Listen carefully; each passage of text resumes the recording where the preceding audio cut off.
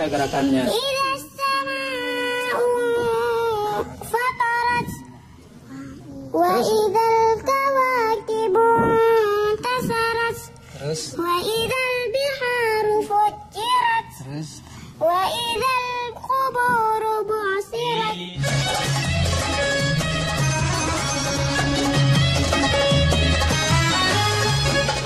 Sebagian orang mungkin merasa tak punya waktu untuk membaca kitab suci Al-Quran, padahal di dalamnya terdapat pahala yang sangat besar. Ada pula yang merasa tak sanggup karena merasa kesulitan membacanya. Namun lihatlah Hafiz atau penghafal Al-Quran cilik yang kini tampil dalam program Hafiz Quran Trans 7 ini. Meski usia mereka masih sangat kecil, namun bocah-bocah ini begitu fasih melafazkan ayat-ayat suci Al-Quran. Sejak dini mereka telah berlatih untuk menghafalkan Al-Quran. Ada kalanya mereka memiliki cara-cara yang unik dalam menghafal. Dan pemirsa, inilah tujuh kelucuan Hafiz cilik dalam menghafal Al-Quran.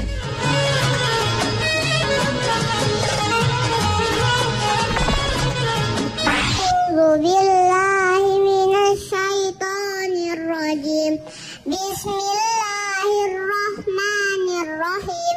Wailul lil mutaffifin.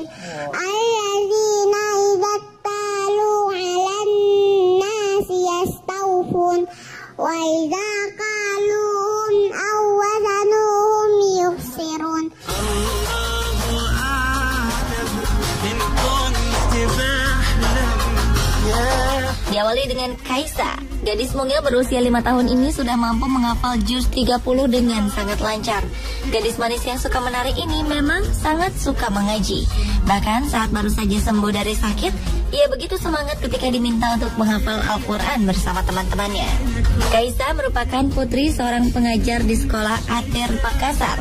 Setiap hari, Kaisa belajar menghafal dengan kedua orang tuanya. Secara rutin, Kaisa menghafal Al-Quran sebelum tidur dan setelah sholat subuh. Lucunya, Kaisa memiliki cara yang cukup unik dalam menghafal. Ia harus menggunakan metode body language atau bahasa tubuh yang diajarkan sang bunda. Metode ini pun juga sukses mengantar keempat saudara Kaisa yang lain dalam menghafal Al-Quran. Dengan metode ini, Kaisa pun mengerti arti dari surat yang ia hafalkan lewat bahasa tubuh dari ibunya. بعد حلمي اشوفك هنا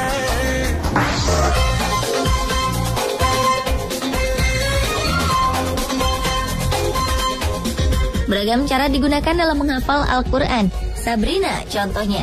Gadis asal Bogor yang kini berusia 7 tahun ini terbiasa menghafal sambil mendengarkan alunan ayat-ayat dari seorang kori asal Kuwait yang bernama Sheikh Mishari Rashid. Lantunan bacaan Sheikh Mishari Rashid menjadi modal dan semangat Sabrina dalam menghafal. Namun ada yang unik dari cara menghafal Sabrina. Bocah mungil yang kini telah hafal juz 30 dan surah Al-Baqarah ini ternyata pandai mengingat ayat secara mundur. Karena kepandaiannya ini, Sabrina pun bisa lolos mewakili kota Bogor untuk bersaing di Hafiz Quran Trans 7 bersama Hafiz-Hafiz dari seluruh Indonesia. Allah ya Allah, ya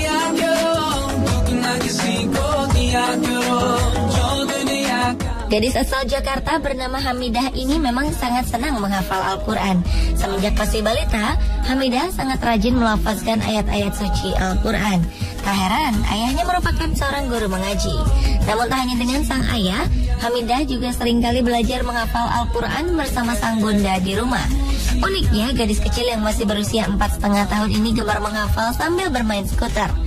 Dengan cara bermain, hafalan Hamidah berkembang pesat. Kegiatan bermain yang menyenangkan seperti ini ternyata membuat Hamidah rileks dan lebih mudah dalam menghafal. Bahkan terkadang saling membantu sang bunda di dapur, Hamidah tetap teringat dengan hafalan Qur'annya. Kedua orang tua Hamidah memang menerapkan agar Al-Quran dekat dengan kehidupan sehari-hari putrinya.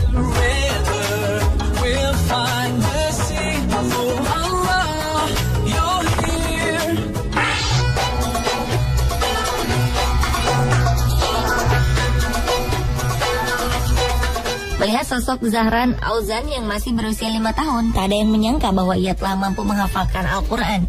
Hingga kini bocah yang akrab dipanggil Auzan ini telah hafal juz 30 dan juz 29. Karena kemampuannya ini, Auzan telah berhasil memperoleh berbagai penghargaan di daerah Langkat, Sumatera Utara sebagai penghafal Al-Quran. Meski masih berusia belia, namun Auzan sangat menguasai tajwid. Suaranya pun sangat merdu. Ada satu hal yang sangat unik ketika Auzan menghafal. Ia memiliki tempat favoritnya sendiri, yaitu dengan duduk di atas meja. Setelah selesai sholat, ia pun buru-buru duduk di tempat favoritnya dan mulai menghafal. Ia merasa caranya ini sangat ampuh membantunya menghafal ayat-ayat Al-Quran.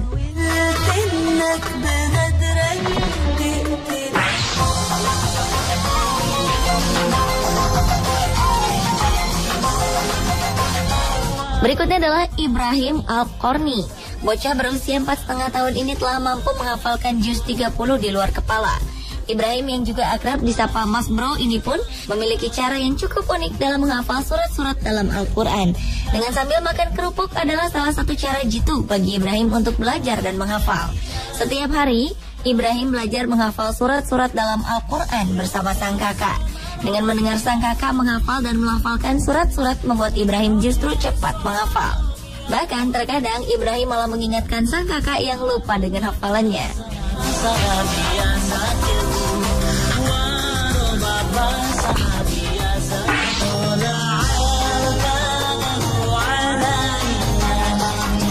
Selanjutnya adalah bocah asal Aceh yang bernama Nawala. Nawala yang kini telah berusia 6 tahun ini memang memiliki low vision atau penglihatan yang terbatas. Namun jangan ditanya tentang hafalan Al-Qur'annya. Kini Nawala telah mampu menghafalkan juz 30 di luar kepala. Meski memiliki keterbatasan, namun hal ini tak menyurutkan niat Nawala untuk menjadi seorang hafiz. Meski tak bisa membaca, Nawala rajin menghafalkan Al-Quran bersama sang ayah. Sama seperti Nawala, sang ayah pun memiliki penyakit yang serupa. Tak surut, ia terus mengajarkan Al-Quran pada sang putra dengan Al-Quran Braille. Nawala juga tak kalah semangat. Ia selalu mendengarkan dan menghafalkan ayat-ayat suci Al-Quran di mana pun dan kapan pun, termasuk di atas motor. Dengan Quran digital yang diperdengarkan oleh sang ayah, Nawala pun terus bersemangat menambah hafalan Qurannya. Pemirsa, itulah keunikan Hafiz Cilik menghafal Al-Quran versi on the spot. Jangan lupa untuk menyaksikan program Hafiz Quran yang tayang setiap hari selama bulan Ramadan pukul 13.45 sampai 15.15 waktu Indonesia Barat hanya di Trans 7.